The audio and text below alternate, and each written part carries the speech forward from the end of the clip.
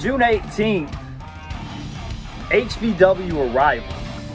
I'm a super villain. It don't matter what age you put me in. I could go back to the times of Genghis Khan and get it on. Hey, what happened last time we were at HVW? And we're about to win the tag team championships.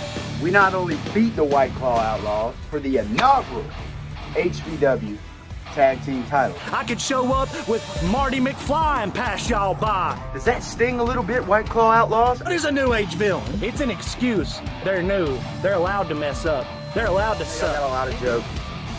Y'all got a lot of rhymes, a lot of little cute little funny things y'all like to say, but The result remains the same. Y'all are lame, and we are the baddest on the planet. there ain't gonna be nothing funny come HVW arrival. I don't know what time warp you're arriving from New Age villains. I don't even know what the hell that means. When we arrive, we will beat you until you're no longer alive. Would they say?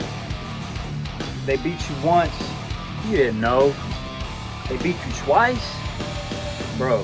Kinda had it coming.